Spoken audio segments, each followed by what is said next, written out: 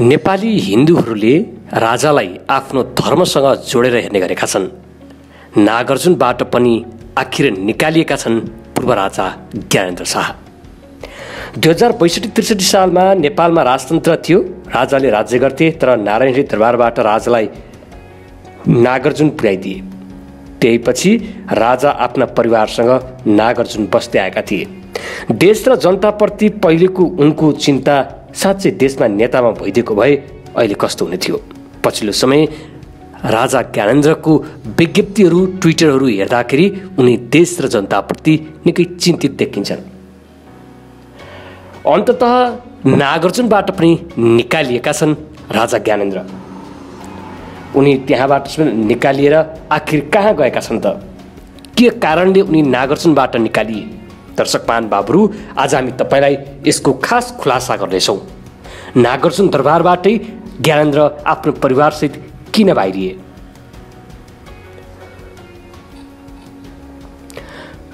नागार्जुन दरबारबाट बाहिर निस्किँदै गर्दा त्यहाँ गाडी चढ्नु अघि पूर्व बडा महारानी कोमल एकाएक भावुक बनेकी थिइन्। उनका आँखाभरि आँसु थिए। पति पूर्व राजा ज्ञानेन्द्र शाहले सम्झाए मुटु बलियो पार्न भने। पति ज्ञानेन्द्रले सम्झाएपछि तेह्र वर्ष अघि जेठ उन्तिस दुई हजार पैँसठीको साँझ नारायण हिटित राजदरबारबाट बाहिर निस्कदा पूर्व बडा महारानी कोमलको अनुहारमा सन्ताप देखिँदैन थियो। आफ्नै पालामा राजतन्त्रको अन्त्य हुँदा वेदना त कति थिए कति होलान्। तर कोमलसँगै नारायणहिटीबाट निस्कदा होस् या त्यसअघि नारायणहिटी राजदरबारमा आयोजित पत्रकार सम्मेलनमा पूर्व राजा ज्ञानेन्द्रको अनुहारमा पनि चिन्ता वा सन्तापको कुनै सङ्केत समेत देखिएको थिएन। राजतन्त्र समाप्त भएपछि ज्ञानेन्द्र के गर्लान्? जीवित सधैँ गति त्यागेका श्री तिन युद्ध शमशेर वा पद्म शमशेर चाहिँ भारततिर वा बेलायततिर पो भाष्यलान् कि? यस्तो अनुमानहरूको खण्डन उनले नारायणटी छाड्नु अघि पत्रकार सम्मेलनमै गरिसकेका थिए।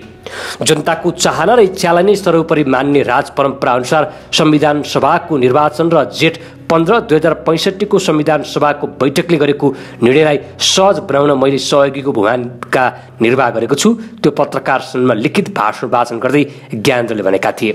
मैले देश छाडेर जाने सोचाइ अहिलेसम्म बनाएको छैन। गणतन्त्र स्थापना भएको चौध दिनपछि उन्तिस जेठ दुई हजार पैँसठीको साँझ पूर्व राजा वीरेन्द्र शाहले श्रीपेज र राजदण्ड समेत नेपाल सरकारलाई जिम्मा लगाएर यसै गरी सधैँका लागि नारायणहिटी छाडेका थिए। त्यसअघि नै सरकारले उनको बसोबासका लागि नागार्जुन दरबार उपलब्ध गराउने निर्णय गरिसकेको थियो। त्यो दिन नारायणहिटीबाट सिधै उनी नागार्जुन पुगे। गणतन्त्र पछिका सात वर्ष अधिकांश समय पूर्व राजा शाह नागार्जुन दरबारमै रहे। छोरा पारस सिङ्गापुर थाइल्यान्ड बसेको बेला पूर्व राज दम्पति कहिलेकाहीँ निर्मल निवास झर्थे। पारस यतै रहेका बेला प्राय नागार्जुनमै रहन्थे। काठमाडौँको कोलाहालबाट टाढा झ्याउकी र नाना थरीका चराहरूको चिरबिर मृग चितुवा बदेल जस्ता जङ्गली जन्तुहरूको खक्र्याङ खुक्रुङ राजा वीरेन्द्र जस्तै ज्ञानेन्द्र कोमल दम्पतिलाई पनि नागार्जुन दरबार औधी मन परेको थियो। त्यसैले आफू राजा हुँदा पनि ज्ञानेन्द्र दाजु जस्तै नागार्जुनमै रहन रुचाउँथे। अहिले पनि पूर्व राजा ज्ञानेन्द्रप्रति आक्रोश पोख्नु पर्दा नेताहरूले भन्ने छाडेका छैनन्। नागार्जुन दरबारबाट पनि हामी निकाल्नेछौँ। तर सात वर्ष भयो पूर्व राज दम्पतिले नागार्जुनमा पाइला टेकेका छैनन्। त्यहाँ रहेका सबै सामान निर्मल निवास सारिएका छन्।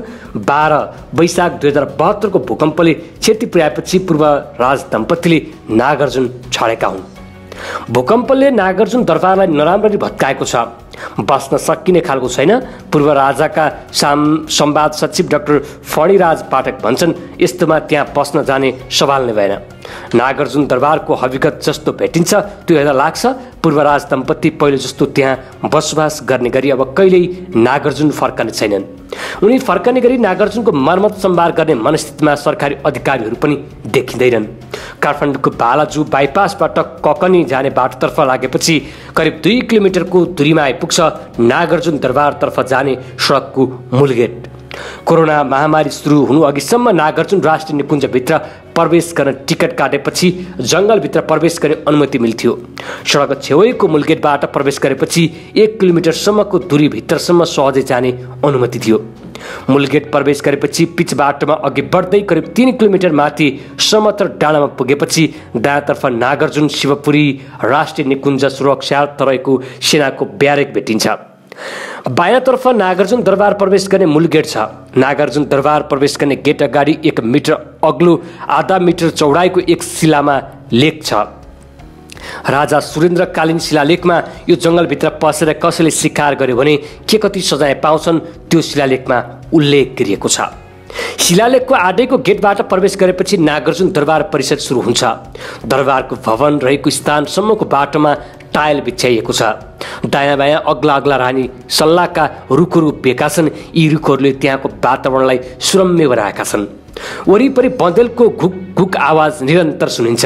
तर बँदेलका कर्कस आवाजलाई कोइलीको समधुर लयको कुँ कुँ आवाजले डिम पारिदिन्छन्। राष्ट्रिय निकुञ्ज भएकाले सुरक्षित छौँ भन्ने सोचेर होला सेना र सशस्त्र प्रहरीका बन्दुकको समेत तिनीहरू प्रवाह गर्दैनन्। वैशालु युवा युवतीको उन्मात्त भावमा एकअर्कालाई जिस्काएकै झैँ यहाँका कालिजहरू सिपाहीका टाउका छुला छुला जसो गरी बतासिँदै उडिरहेका देखिन्छन्। टायल बिछ्याएको सुरम्बे सडक हुँदै एक सय मिटर अघि बढेपछि आइपुग्छ एउटा फराकिलो आँगन। आँगनको बिच बिचमा आधा दर्जन जति रानी सल्लाहका अग्ला अग्ला रुख्छन्। यहाँको सुन्दरतामा खलल नपुगोस् भनेर चाइनिज इट्टाको गोलाकार पर्खाल लगाएर सल्लाहका रुखलाई फेदलाई घेरिएको छ।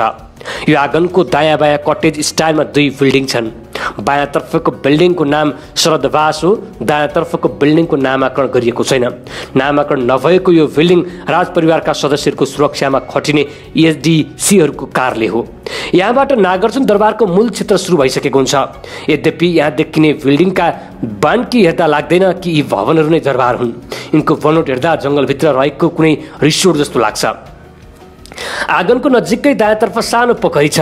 पोखरीमाथि नागबेली आकारको पुल बायाँतर्फ सानो ढिस्को छ।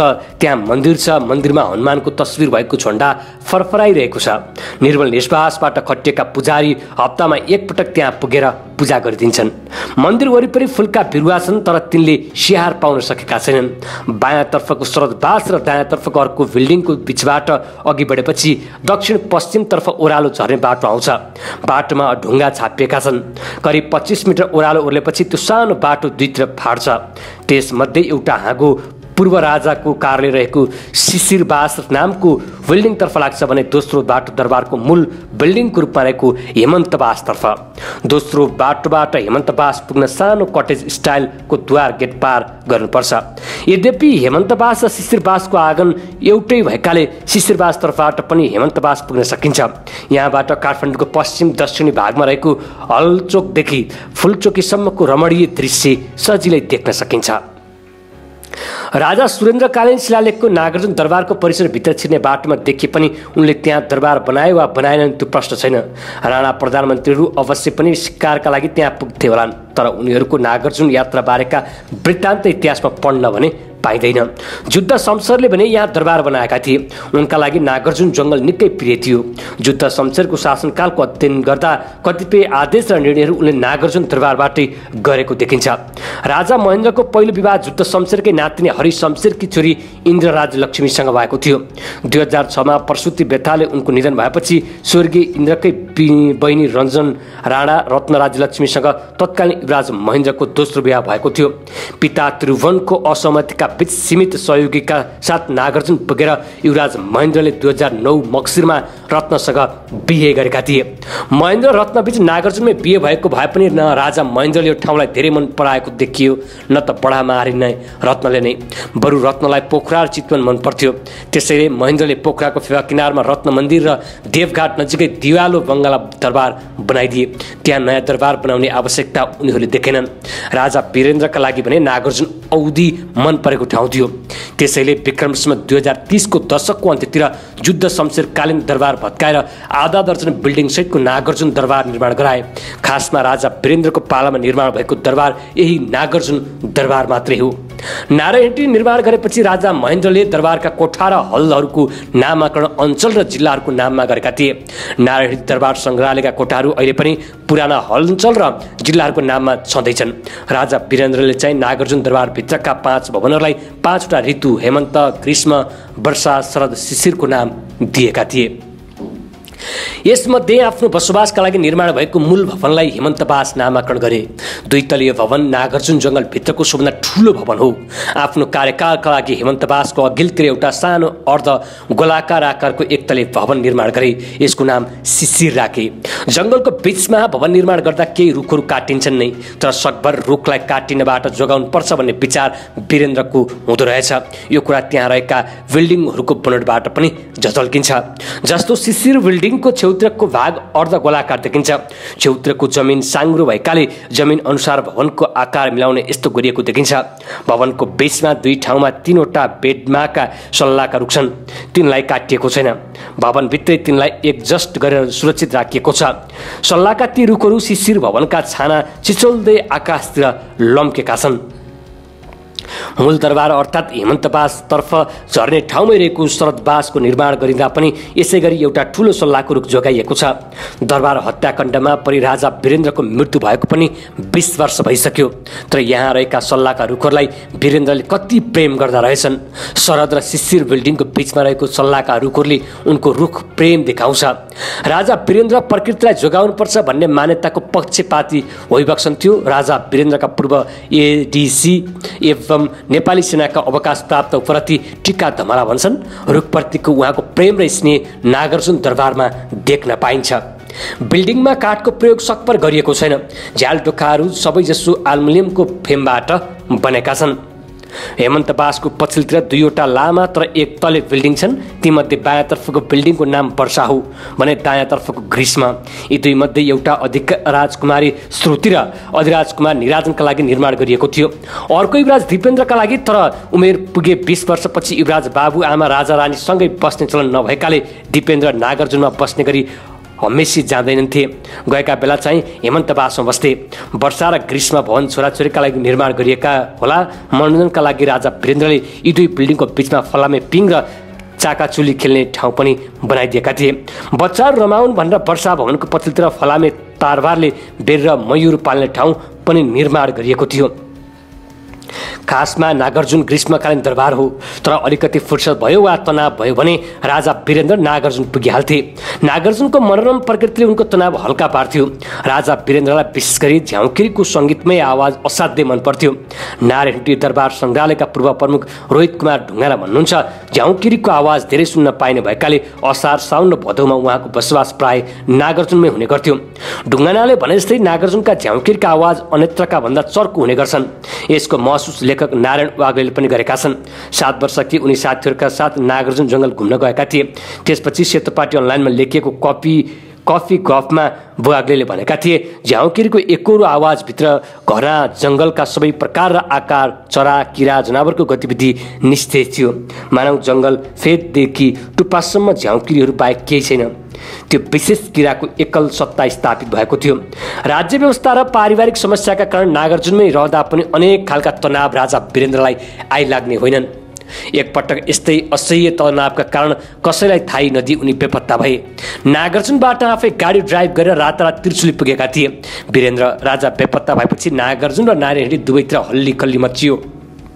त्यसपछि सेनाले देशभरिका ब्यारेकमा स्ट्यान्ड टू समेत लगाएको राजाका साथमा रहेका तत्कालीन एडिसी टिका धमलाले एउटा संस्मरण उल्लेख गरेका छन्। स्वास्थ्य लाभका लागि पनि उनी नागार्जुन नै पुग्थे प्रधानमन्त्री गिरिजाप्रसाद कोइराला जापान भ्रमण गएका बेला नौ कार्तिक दुई हजार पचपन्नमा राजा वीरेन्द्रलाई हार्ट एट्याक भयो। यो उनको जीवनको सबभन्दा ठुलो स्वास्थ्य समस्या थियो। उपचारका लागि देश विदेशबाट नामी डाक्टर नेपाल झिकाइए तिन हप्तापछि एक मक्सिरमा उपचारका लागि बेलायत प्रस्थान गरे। चार हप्ता बेलायतमा बिताएर दुई मक्सिर दुई हजार पचपन्न काठमाडौँ फर्केका थिए। हार्ट एट्याक हुँदा वीरेन्द्र नागार्जुन दरबारमै थिए। त्यसपछि बेलायत प्रस्थान गर्ने दिन उनी नारायण प्रवेश त गरे तर राज प्रतिनिधि परिषदका अध्यक्ष युवराज दिपेन्द्रलाई शपथ ग्रहण गराउनका लागि मात्र। बेलायत प्रस्थान गर्ने अघि बेलायतबाट फर्केपछि पनि उहाँ नागार्जुनमै रहनुभयो। ढुङ्गाना भन्छन् मात्र फरक के थियो भने पहिले उहाँ हेमन्तवास रहनुहुन्थ्यो तर त्यहाँ पुग्न ओह्रालो झर्नुपर्ने भएकाले केही समय श्रद्धवास पाउनका लागि बनाइएको बिल्डिङमा रहन थाल्नुभयो। श्री तिनी युद्धकालीन भवन भत्काएर आफ्नै डिजाइनका नयाँ भवन निर्माण गर्नु अघि पनि वीरेन्द्रको मुकाम नागार्जुनमा रहन्थ्यो। जनमत सङ्ग्रहपछि घाँटीको क्यान्सरले च्याप्दै लगेका पूर्व प्रधानमन्त्री बिपी कोइरालालाई नागार्जुनमै निम्ताएर राजा वीरेन्द्रले उपचारका लागि अमेरिका जान सल्लाह दिएका थिए। झाउकिरको सङ्गीतमै आवाज सुन्न पाइने बर्सातमा मात्र होइन जाडोमा समेत वीरेन्द्र अक्सर नागार्जुनमै रहन्थे। दरबार हत्याकाण्ड हुनु चार महिना अघि लामो समय नागार्जुनमै बिताएर उनी नारायणटी झरेका थिए। दुई हजार सन्ताउन्नको फागुन अन्तिम साता दुई हजार अन्ठाउन्न वर्षातको सुरुवातसँगै उनी फेरि नागार्जुन उक्लने थिए होलान्। तर दुई हजार अन्ठाउन्न जेठ उन्नाइस गते दरबार हत्याकाण्डमा परि उनी मारिए। त्यसपछि सायद नागार्जुनमा झ्याउकिरीहरूले पनि आफ्ना सङ्गीतमय आवाज गम्भीरतापूर्वक सुनिदिने राजा पाएका छैनन्। दाजु भाउजू भतिज भतिजी र अन्य नाताहरू मारिएको ठाउँ भएकाले होला। राजा बनेपछि ज्ञानेन्द्रले पनि नारायणटी सर्न सुरुमा रुचि देखाएनन्। औपचारिक कार्यक्रम बाहेक उनी खासै नारायणटी आएनन्। करिब एक वर्ष निर्मल निवासपाटी राजका चलाए। राजा वीरेन्द्र जस्तै नागार्जुन भने सुरुदेखि नै गइरहे। अधिकांश महत्त्वपूर्ण भेटघाट नागार्जुनमै गर्ने गर्थे। माओवादी विरुद्ध सेना परिचालन भएपछि भने सुरक्षाका कारण उनी नारायणटी सरे। नागार्जुन दरबारको मनोरम वातावरणले उनलाई कविता र गीत सृजना गर्न सहयोग पुर्याउँथ्यो। त्यति बेला उनले रचना गरेका गीत कविता त्यहाँका भित्तामा सिसाका फ्रेमभित्र अझै सुरक्षित छन्। ती गीत कविताले उनको आफ्नो जीवनबारे गहिरो अर्थ दिन्छ। विक्रम सम्बन्ध उन्नाइस सय नब्बेको भूकम्पले नारायणटी दरबारमा ठुलो क्षति पुर्यायो। भूकम्पमा राजा त्रिभुवनका दुई छोराले ज्यान गुमाए। दुई हजार बहत्तर वैशाखको भूकम्पले नारायणटी परिसरका राणाकालीन दरबारहरू भत्के तर मूल भवनलाई भूकम्पले खासै क्षति पुर्याएन। पूर्व राष्ट्रिय अध्यक्ष का हैसियतमा नेपाल सरकारले अस्थायी बसोबासका लागि ज्ञानलाई उपलब्ध गराएको नागार्जुन दरबार भने निकै क्षति पुर्यायो। नागार्जुन दरबार मन्दिर बाइस वैशाखको भूकम्प अघिसम्म जुद्ध शमशेरकालीन एउटा भवन थियो। भूकम्पले त्यो पुरानो भवनलाई गर्ल्याम गुरुल्म पार्यो। पुरानो भवन थियो प्रायोजन नभएकाले त्यो रहन नरहनुको अर्थ थिएन। तर उनी बसोबास गर्दै आएको हेमन्तवास र शिशिरवासलाई भूकम्पले नराम्रोसँग क्षति पुर्यायो। हेमन्तवास प्रवेश गर्ने दरबार र दरबारको सुरक्षाका लागि निर्माण गरिएका कम्पाउन्ड वाल पनि ठाउँ ठाउँमा भत्किएका थिए भूकम्पले हेमन्तवासलाई कति क्षति पुर्याएको छ त्यो बाहिरबाट हेर्दै प्रश्न देखिन्छ। बिल्डिङको अगाडिको भित्ता नराम्ररी छर्किएका छन्। झ्याल ढोका अधिकांश सिसा फुटेका छन्। फुटेका सिसाबाट च्याएर हेर्दा भित्री भाग अझ नाजुक देखिन्छ। बताए अनुसार पूर्वी राजा रानीको बेडरुम र अन्य कोठाहरूमा पनि क्षति पुगेको छ। पानी र बिजुलीको सिस्टम बिग्रिएको छ। बिल्डिङको उत्तर दक्षिण भिरतर्फको वाल ढल्नै लागेको छ। यस्तै स्थिति शिशिरवासको पनि छ। त्यहाँको वरन्डा र मूल भवन जोड्ने बिम चर्केर धराप बनेको छ। जुनसुकै बेला बिम खसेर क्षति पुर्याउन सक्छ। नागार्जुनमा रहँदा सानोतिनो मर्मत सम्मार पूर्व राजा आफैले खर्चमा गर्दै आएका थिए। तर भूकम्पले दरबारका भवनहरूमा ठुलो क्षति पुग्यो। आफ्नै सम्पत्ति भएको भए आफ्नै खर्चमा पूर्व राजाले मर्मत सम्मार गर्थे होलान् तर नागार्जुन दरबार उनको नाममा छैन। नारायणटी छाड्ने भएपछि मन्त्री परिषदले नागार्जुन दरबार पूर्व राजा शाहलाई बसोबासका लागि उपलब्ध गराउने निर्णय मात्र गरेको थियो। उनलाई स्वामित्व हस्तान्तरण गर्ने निर्णय भने गरिएको छैन। कति समयका लागि उपलब्ध गराइएको हो त्यस सम्बन्धी निर्णय पनि भएको छैन। बरु देशमा देखा परेका विसङ्गति विरुद्ध पूर्व राजाले थोरै मात्र असन्तुष्टि व्यक्त गरे भने उनलाई दिएको यो सुविधा खुसी दिने सार्वजनिक धम्पी शीर्ष नेताहरूले दिने गरेका छन्। उनीहरूको धम्कीको सङ्केत आफूहरूको विरोध गर्ने उनलाई पूर्व राजा नागार्जुन दरबारबाट हटाइन्छ भन्ने हुन्थ्यो। नेताहरूको सनकमा कति बेला हट्नुपर्ने हो यस्तोमा उनले दरबारबारे आफै निर्णय गर्ने कुरा भएन। गणतन्त्र स्थापना पछिका यस्तै सुख दुःख आरो अब्रोका बिच बाइस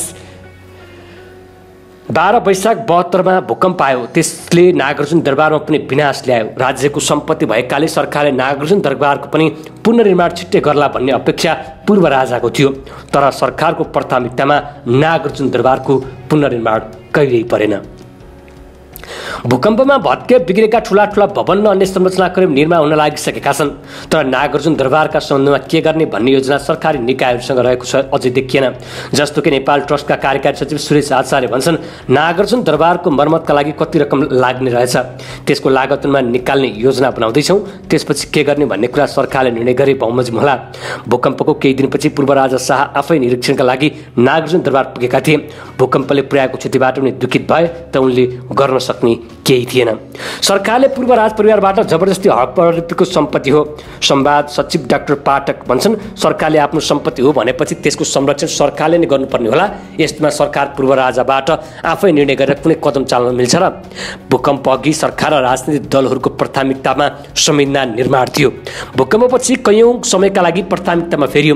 सबैको प्राथमिकता उद्धार र राहत बन्यो। संविधान जारी भएपछि भारतीय नाकाबन्दीबाट सिर्जित समस्या समाधानमा प्राथमिकता बन्यो। यस्तोमा राज्यको प्राथमिकता नागार्जुन दरबार बन्दैनथ्यो भन्ने बुझेका पूर्व राजा शाह केही समय चुप लागेर बसे। भूकम्प पीडितहरूका लागि आफूले सकेको सहयोग गरे। राज्यले आफूप्रति गरेको व्यवस्थाप्रति कहीँ कुनै गुनासो गरेका छैनन्। तर यी समस्याबाट जब सरकारले पार पायो त्यसपछि पनि नागार्जुनको पुनर्निर्माणप्रति ध्यान दिन सकेको छैन। राज्यका कुनै निकायले उनीसँग सरसल्लाहको आवश्यकता समेत ठानेको छैन। सम्भवतः छिटै नागार्जुन दरबारको पुनर्निर्माण हुँदैन भन्ने निष्कर्ष निकाल्ने ज्ञानेन्द्रले त्यसपछि बिस्तारै त्यहाँ रहेका निजी सामान सार्न थालेका थिए।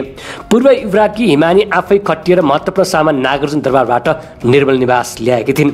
राजा वीरेन्द्रले यो प्रिय दरबारको इतिहास र पुरानो सान सौगातको जसलाई जानकारी छ। अहिलेको भूत बङ्गला स्वरूप देखिने भनेर उनीहरू दुखित बनेका छन्। दरबारतर्फ लाग्ने गरी नागार्जुन जङ्गलभित्र प्रवेश गरी देखिने पूर्व राजा शाहले नागार्जुन छाडेपछि दुरावस्थाको अनुभूति हुन थालेको छ। पूर्व राजा शाहको नागार्जुनमा बसोबास छँदासम्म जङ्गलभित्रको बाटो सहज थियो सफा थियो खाल्टाखुल्टी थिएनन्। अहिले उप्केको छ बाटोभरि खाल्टाखुल्टी छन्। नागार्जुन दरबार वरिपरिको जङ्गलभित्र सुन्दरता बढाउन जडान गरिएका कलात्मक बत्ती फुटेका छन्। कतिपयले तार छुटेको छ नफुटेका बत्तीहरू कुहिएका पातले छोपिएका छन्। दरबार परिसरभित्र टायल लगाइएको बाटोले हालत त्यस्तै छ। सल्लाहका पातहरूले सडक छेउछाउको भाग छोपिएको छ। पोखरीको पानी वनस्पति कुहिएका पातहरूले भरिएको छ। पोखरीभित्रको फोहोरका कारण त्यहाँबाट एक किसिमको नमिठो गन्ध वरिपरि फैलिरहेको छ। यसै गरी राजप्रसाद सेवा अन्तर्गतका झन्डै तिन दर्जन कर्मचारी नागार्जुनमा रहन्थे। राजा वीरेन्द्र र ज्ञानद धेरैजसो यही रहने भएकाले मानिसहरूले आवजावत पनि भइरहन्थ्यो तर अहिले नेपाल ट्रस्टले खटाएका एघात कर्मचारी मात्र रहन्छन्। ट्रस्टका कार्यकारी सचिव आचार्यको भनाइमा पूर्व राजा शाह नजाने भएकाले कर्मचारी र सुरक्षाकर्मीको सङ्ख्या घटाइएको हो।